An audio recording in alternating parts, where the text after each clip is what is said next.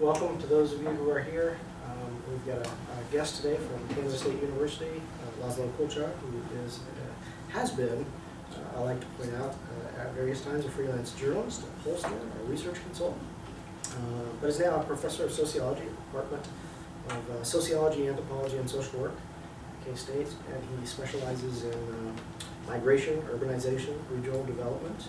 He's done research on population dynamics and social change in rural areas, focusing on aging and natural resource use, and has also done a lot of work, of course, in uh, demography and uh, the transition in uh, post-communist uh, Eastern Europe. So, we're going have Louis today. All right, thank you so much. So I'll try to. Okay, so um, the project I'm going to talk about today is uh, a book in the making. It's about the culture war in Eastern Europe and um, some stuff kind like lifted from that project to to to talk about specifically on Hungary, but the it's going to be about other countries as well. Okay, so I guess most people recognize all the coats of arms Hungary had in the past hundred years. Nicely sort of like summarizes the country's development through the ups and downs of various ideological thoughts. Okay, so um, three pictures on various ideology failures in Hungary. I'm sure you know who this person is. It's Admiral Horthy, you know, the famous leader in the interwar period.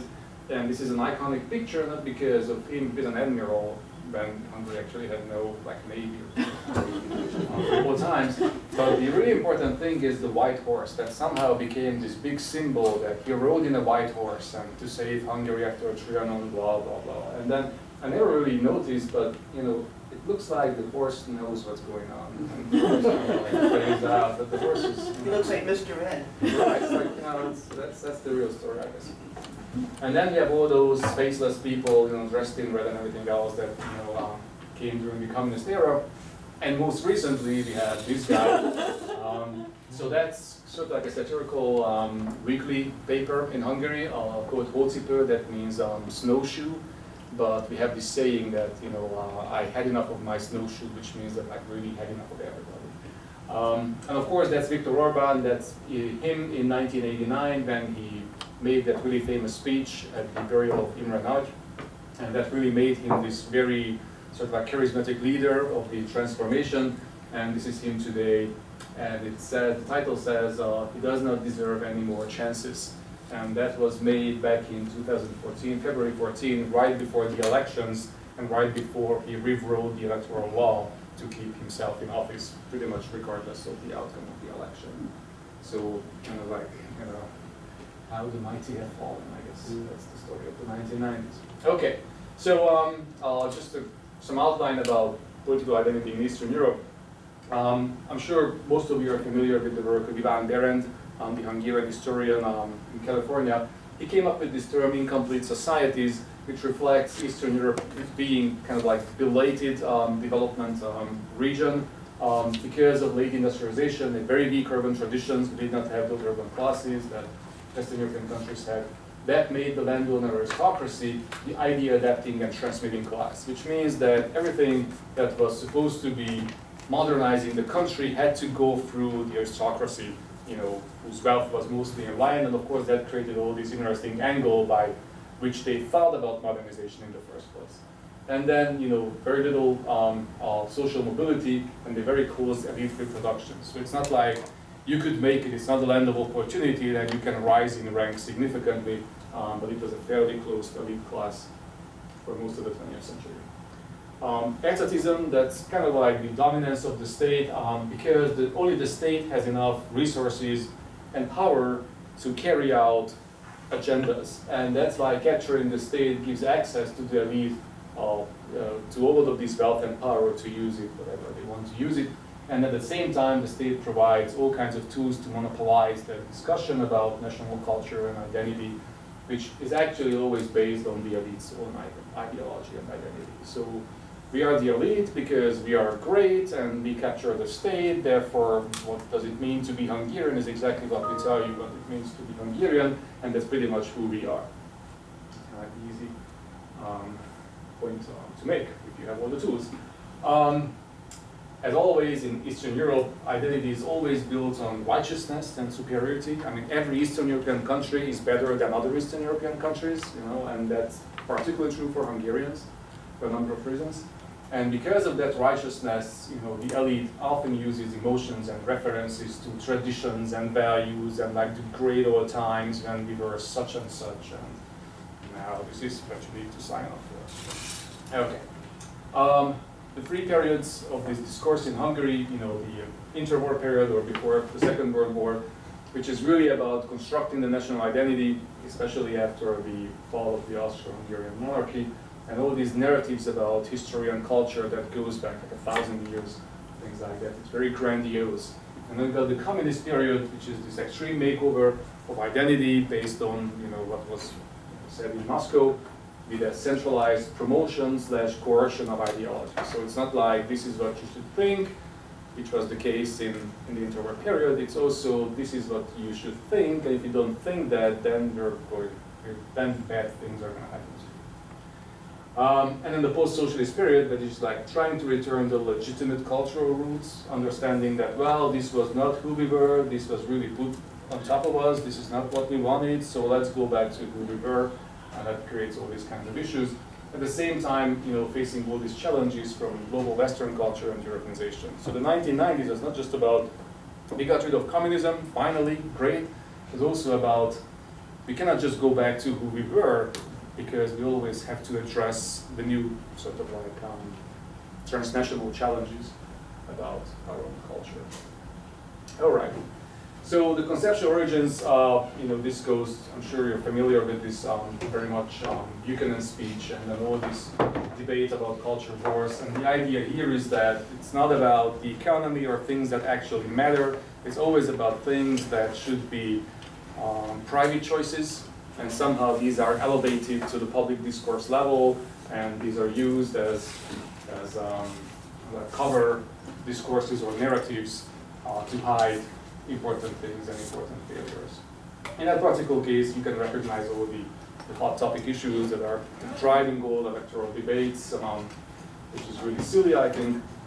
And then this whole idea of portraying this radical left and the cultural elite in the US versus the Christian majority, and then but majority right now. But the important thing here is that it's, it moved morality from an individual to a public political issue. So now we can actually talk about like, what is your stance on gun rights? What is your stance on gay rights? And that defines a candidate. And that's just wrong because those should be private issues um, from that. But of course, we go back in time, and then this, this is where it really started. Um, it's the Pope and Bismarck playing chess. It's all about this late 19th century um, nation-building exercise, um, partly the unification of Italy and Germany, and then all these nationalism outbreaks in Eastern Europe, and then identity constructed as you know based on blood and cultural similarities, as opposed to a joint understanding of civic liberties, which was most likely English and French case. Um, what made it really unique is really Bismarck because he used the state and all the state power for the first time to push for a certain cultural position. And that was the Kulturkampf of the largely unsuccessful um, anti-Catholic policies. And to be honest, Bismarck was never really interested in the cultural aspect of that. For him, it was a political game, and it was a game that he actually lost. But then this whole idea that you can use culture to mobilize people for particular reasons that was really rooted in that period. And because that period was the period of you know liberal politics rising and the secularization of Europe, that's that was the reason why this cultural debate got this anti-religious sort of like label. Interesting historical period. So going back to Hungary, um, I'm sure you recognize the trauma of Hungary. Wow, you know, bad things happen. So all of our narratives start with Trianon, right? You know, we were great for a thousand years, and then the evil English and French and all these Western powers, you know, took away most of the country, blah blah blah. So the story here is that one way to handle that, and that was a significant trauma, one way to handle that was to escape into this idea that we are culturally superior. We may be small, we may be the smallest now. We used to be the biggest. We used to be like the bullies. We don't have, we are not the bullies anymore. We are kind of like tiny, but our culture is still strong. Um, and that, of course, means um, all kinds of interesting um, changes. One of those is that with the kind of like dismemberment of Hungary, most of the urban centers that were significant for hundreds of years belong to other countries now. So what happened is that Budapest remained the only real city with significant commerce and industry and all these urban like, uh, amenities. And as such, it became the most important center of modernist thought. Everybody who wanted to create social progress and modernism was in Budapest, right? Now that sort of pitted the city against the countryside and created this complex label of, well, Budapest is really about these Jewish intellectual, sort of like urbanite, liberal, bad things, and all of those people who live there are just like these evil urbanites and they don't care about the true Hungarian values, blah, blah, blah. Familiar argument, like all the time, it's always like the urbanites are like this. And then the real Hungarians, like, live in the countryside. So because of that, modernity, represented by Budapest, became the main target for all these conservative political forces and the populists as well. And you know, Budapest was really big. It was 10 times as big as the second largest city in Hungary at that time, which is a lot. I mean, that really gives you a perspective on how different things are. Okay, um, this guy with the hat, that's Kuno Klebelsberg, you know, the culture minister of Hungary in the 1920s, and that's one of the graduation ceremonies at the uh, University of Budapest. And these two guys, the ones who did not do not have any swords, are you know I think one of the rector and the the provost or the other way around. So those are university dignitaries. Everybody else with like the sword and the traditional garb that's like you know important government. Except the guy who is actually responsible for all this who always wore civilian clothes. Anyhow, so he was Kuno Klebelsberg, the Minister of Culture for most of the 20s, and he had this famous quote, Today the Hungarian nation is kept great not by the sword, but by its culture. And that really sort of like created this new narrative of, well, we'd like to get those territories back. We cannot right now because of obvious reasons, but then we're just going to colonize them through our culture. We're going to swarm them through our culture. The ministry received, whoops, close to 10% of the national budget in the late 20s. So that is a lot. I mean, the whole national budget, 10% went to the Ministry of Culture, which is, it's not like the Ministry of Truth or something like that, but it's kind of like really significant. And, you know, he had this dual vision, you know, first improve public um, education, and then support higher education and the intellectual elite as long as the intellectual elite says what he wants to hear, right? But then public elementary and secondary education, that was very, very important because even at that time, Hungary was really low, not so much on literacy and basic things, but vocational, you know, skills and, and things like that. Um, actually, two of my grandparents got their teacher's degrees in the 1920s, part of that huge you know, infusion of state money um, into public education, which is pretty good, I think. Make the money Okay, so um, the competing ideologies back in those, time, those times, 20s and 30s, were this Christian conservative um, narrative um, that was the favorite for the government. Um, it's a really good match for this revisionist atmosphere, like let's get you know all these territories back because it's our God-given right and has been around and we saved Europe many, many times from the Turks and the Tatars and all these you know, reinterpreting our history uh, exercises.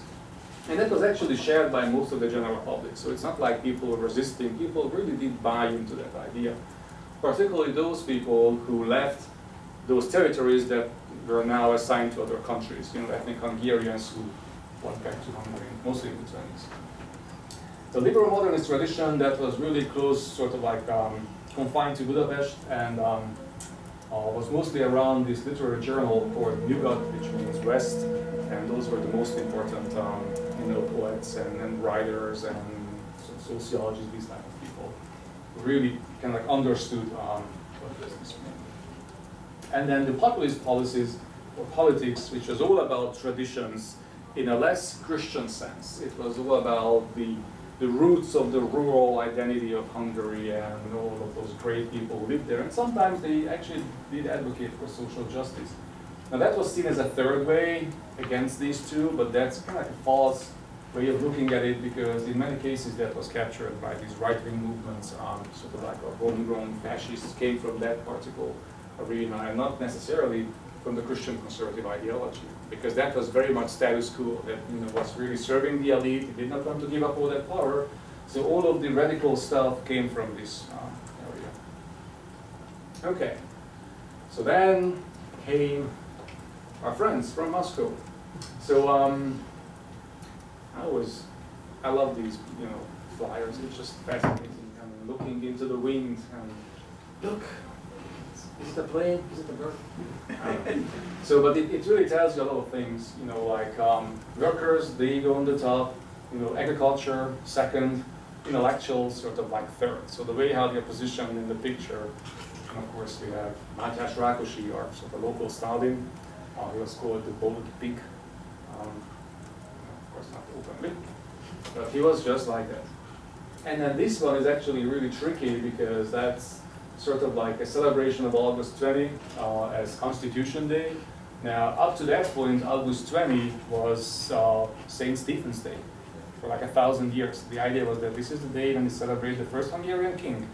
And it was so entrenched in Hungarian identity that, you know, they said, oh, you know, let's do something. Let's just have a special session in the parliament and we should vote on the new constitution on the same exact day, and then we're going to turn this into Constitution Day. And that was very easy because the new constitution was actually like 95% translation of the Soviet constitution at that time, so it wasn't new, just like we just had to translate it from Russian and then we had it. And of course everybody's happy and laughing and it's like a nice future. It's really interesting. It was probably one of those um, pictures that was made in a rush. If you look at that flag, so the top is red, then it's white, and who knows what's in the bottom, likely nothing, because it should be Hungarian, a Soviet, a Hungarian, a Soviet, so there has to be this order. And probably the person who drew this up made a mistake, he started or she started with the Hungarian one, and then somebody never got fixed. Um, so he went to the Gulag. Anyhow, so uh, what happened during the socialist period? well, there was this huge, you know, complete turnover of political ideology. Uh, it started with the elimination or co-optation of the cultural elite. Not everybody was sent to camps. Not everybody was, you know, forced to um, emigrate. Some people decided that, well, fine, I can work within the system, and those people were rewarded with, you know, roles and positions and things like that.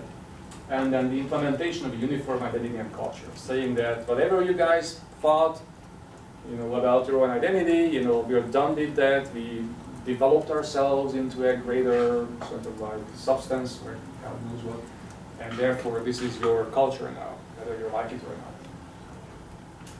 Um, etatism 2.0, I mean, it was still the state, so just because the ideology has changed, you know, the situation when the state was the one with most of the power has not. So the state still defined, you know, culture, identity, ideology. It was all about, and even more so because, you know, communism works. It's always about the state and the party. The public discourse and anything like that was tightly controlled. So, you know, if you said nasty things or said some things that people did not like, then you were reported, and eventually, again, bad things go away. The important consequence of that was the desocialization of the identity discourse itself.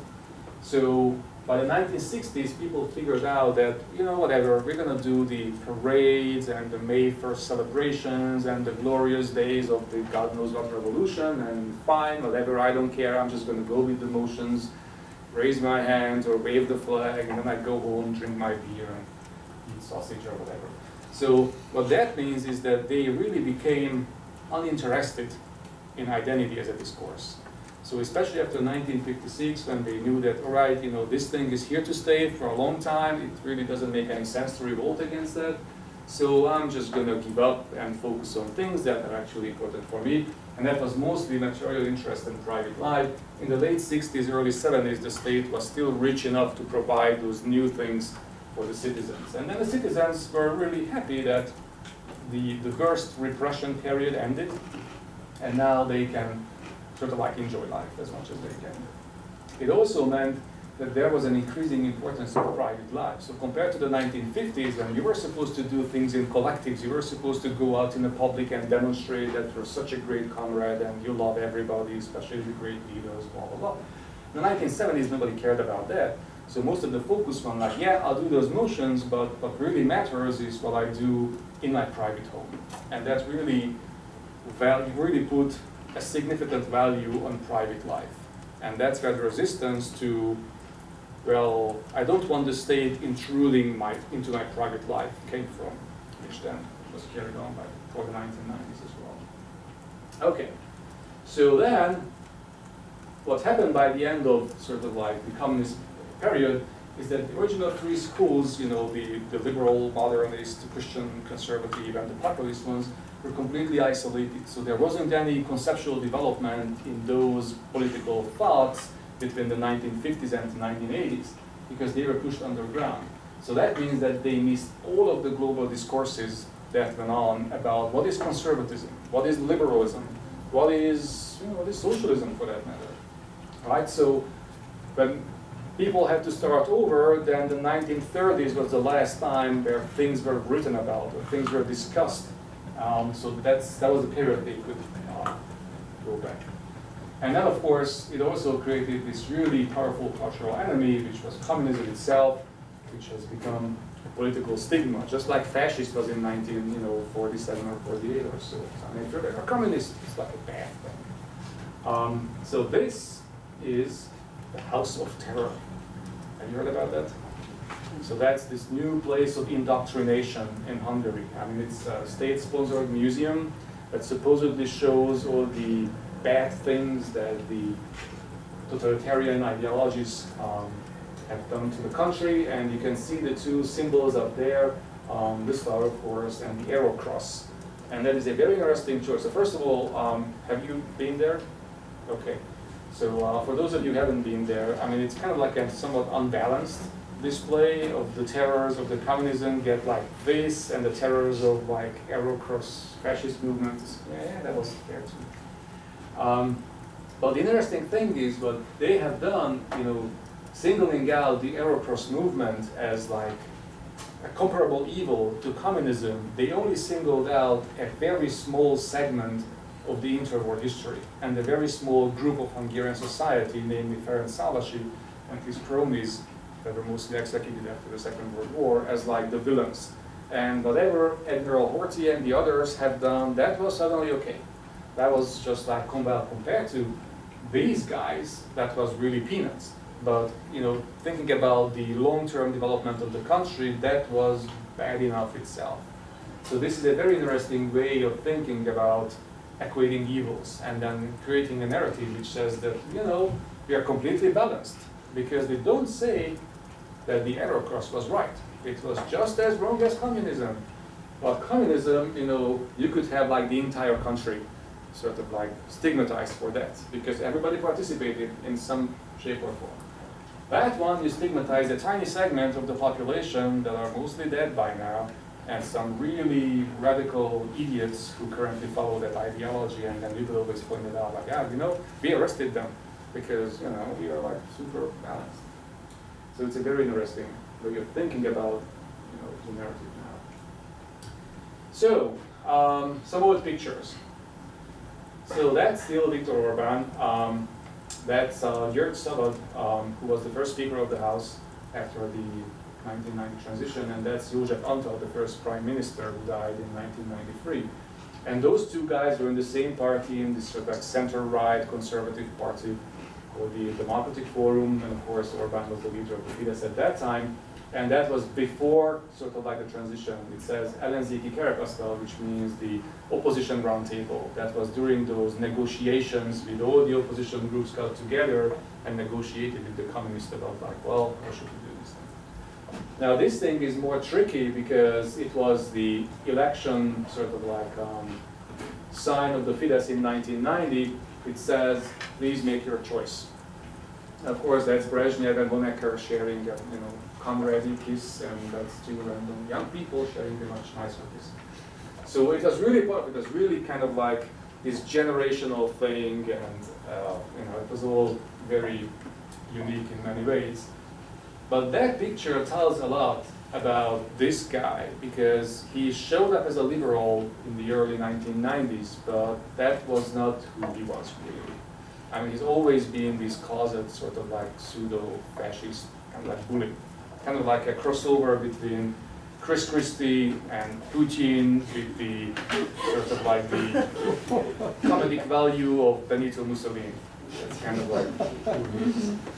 And, and uh, it was very interesting that when they lost the 1994 election on the Liberal platform, he purged all the liberal elements from the party, like overnight, and he turned into conservative and said, that's fine, you know, we could not make it as liberals, now we're going to do this as conservatives, and that, you know, proved to be a really uh, a good choice for him. For the country, that was a really bad choice, but for him, it was a good choice. Okay, so, um, what's about this discourse? well, all these dynamics were really new. I mean, you have to rediscover the rules, figure out who we were, you know, reach back to the last legitimate era of our discourse. We're talking about pluralism, that there are multiple opinions, and you can, you know, contrast those opinions and address all these, you know, globalization, Western values, um, etc. However, the weaponry itself has not changed a bit because it was still about using the state to promote a certain ideology. That was the case between 1990 and 1994, the first conservative government. That was really hardcore in Hungary. It was somewhat less sort of like hardcore during the, the socialist era between 94 and 98. It's more like this anything goes type, but then they still had their own vision. You know, uh, strong intrusion to private morality. It's like now it's our time to renounce our bad ways and go back to the Christian traditional rules that made this country great 900 years ago, blah, blah, blah. And of course, the way how you sell this, and again, if you live through those times, it's super confusing. I mean, you're really happy that communism fell, yippee. But then, like, what now? And then people were like totally in the dark. So therefore, they had to be addressed by very simplified political messages, which says that, you know, two legs bad, four legs great, or the other way around, right? So it's something that everybody can understand immediately, right? And that's how they use this kind of, you know, references back to the historical glory and, you know, nation and values and all. Okay. Um, it was very much elite driven. Um, and of course, if it's elite driven, it comes with this temptation of, you know, I'm the elite, I'm the elite because now I was actually voted to be the elite as opposed to the communist times when I was appointed by Moscow. Now I was voted, so I have all the legitimacy of the populace and they all love me. Of course, then, you know, this kind of this messianistic kind of like, this is how I think the country should look like. So we are the chosen ones, um, both politically and intellectually, because why else would they vote for me? I'm the smartest person in the block. I know the best, you know, what's, what's good for the country. And then simple slogans. An increasingly bitter fight for the control of the media that was very typical in Eastern Europe um, up to about 97, 98, when um, market principles were introduced in the media and then the foreign capital could move in and set up their own TV stations and suddenly people could choose what they want to watch. And they did not want to watch the political debates, they wanted to watch you know, some Western movie, so that's kind of like put an end to that. But before that, in the early 1990s, that was one of the typical characteristics of all Eastern European transitions, is that it's the fight for the TV, especially for the TV. It's like, who, because who controls the mass media, controls the discourse, and controls sort of like the identity um, narratives. And then let's reinterpret history, um, all this symbolism and righteousness and again temptation to address that this is what you should do because our forefathers have done God knows what. You know, everybody and that's not something we're really proud of. Um, simultaneous fight against these domestic opponents because if I'm the person who knows this the best, then the other person who got fewer votes than I got must be sort of like the bad person. So I mean, the fact that I was elected justifies my treatment of the other party as basically a bunch of idiots. And then the international menace, and that is mostly financial, you know, because of, you know, countries being in a really bad shape, it gives rise to this new anti-Semitic, there's this sort of conspiracy between New York and Tel Aviv and all those Jewish bankers are just out there to get us.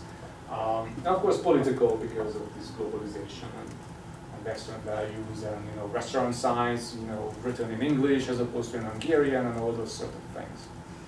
Kind of silly, but in that atmosphere, that was just, oh, have to do something. Okay, so there's life outside the EU. That's a saying from Viktor Orban. You know, at one point they tried to discipline him And then he got mad and started like, well, F you, there's life outside the EU, I don't need to follow the EU sort of directives. And um, that's a flyer from before the uh, referendum on the EU, and it's very interesting because it says that you can say no, you can say no to.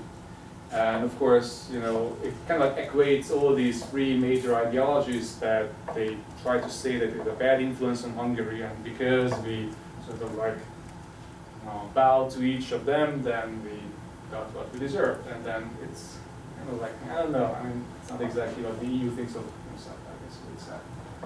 This one is even more tricky. This party, uh, Jobbik, that's our homegrown fascist party.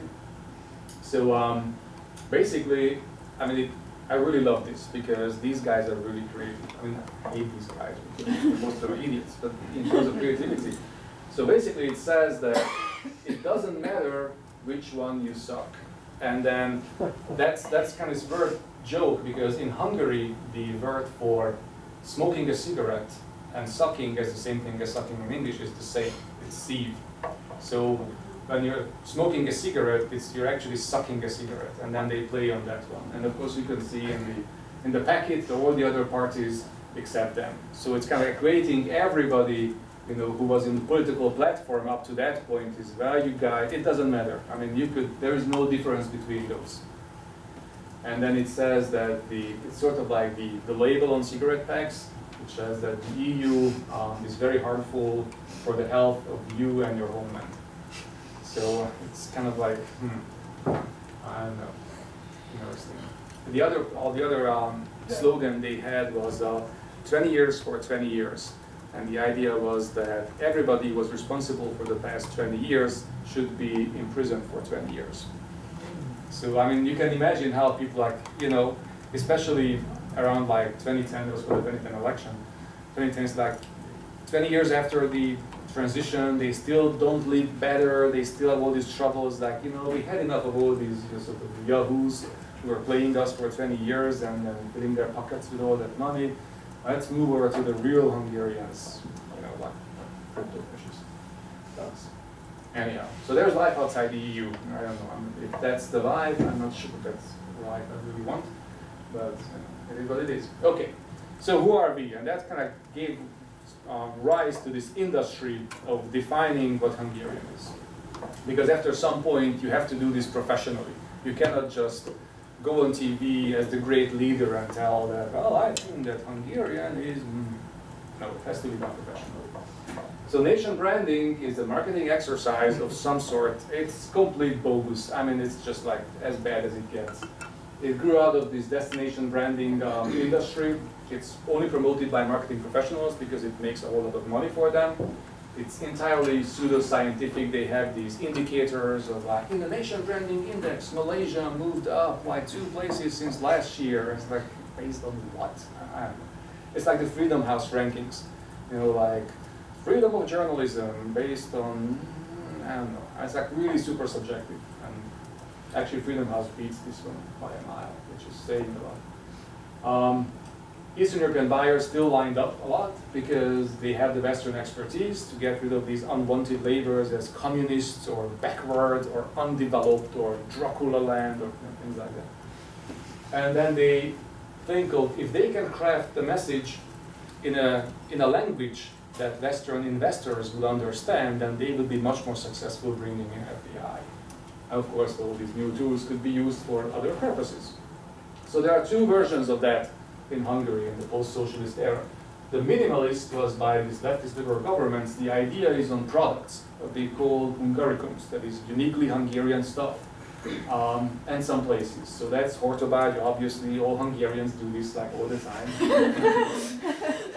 and of course all Hungarians eat like this all the time. Um, it's mostly about boozing, that's Unicum, which is actually that's the real thing. Um, I'm not sure about the cheese thing, how that got there, but whatever, maybe that's not cheese, I don't know. Anyway, strange. Of course women, I mean there cannot be any promotion without some semi-naked woman. Um, so, um, it's places, products. There is no connection to political discourse. It's all about things that we give to people who come here. And it's promoting the country as a destination, and it's promoting it to foreigners. So this whole narrative is not for the locals, it's for like outside. So come to us and enjoy and embrace all these things that we have. And because of that, the coordination fell on this government agency on tourism. And they got all this money, they made these like ad campaigns and whatnot, and it was like, mm, okay, oh, know. it is what it is. Now, the other version, the maximalist version by conservatives was very, very different. So in that, it's, well, we still do the products and places, but then they turn this into political battles. Palinka War, have you heard about that? So Palinka is brandy in Hungarian, right? So in Romanian, it is the same word, except with a C instead of a K, right? So when, but it pronounced the same. And then when the Romanians try to sell their own brandy under this name, then the Hungarian government sued them at the EU saying that, well, you cannot use that because that word in itself, Palinka, that's an ancient Hungarian verb and it has to be associated with the Hungarian product and you cannot have that. And I don't know what was the end of that, it's some sort of silly thing. Operation Tokaj was then, then they realized that part of the Tokaj wine region is actually now in Slovakia.